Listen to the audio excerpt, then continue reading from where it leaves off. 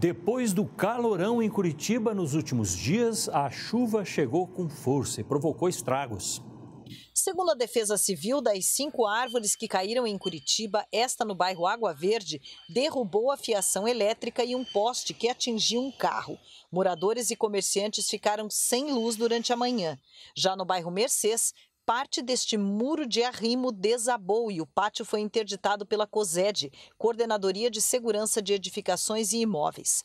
Os estragos foram provocados pela chuvarada que começou na noite de ontem, deixando vários pontos de alagamento, inclusive no centro da cidade, e nesta madrugada.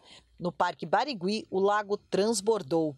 De acordo com os meteorologistas, choveu pouco mais de 85 milímetros, o que significa 65% do esperado para todo o mês de novembro. Este foi o maior volume de água acumulado em 24 horas desde o início do ano na capital paranaense. Com esta chuva, novembro é o primeiro mês do ano em que o acumulado fica acima da média esperada, o que é um alívio para os moradores da Grande Curitiba que enfrentam um período de estiagem severa. Mesmo assim, o nível das barragens ainda está baixo e o rodízio no abastecimento de água continua.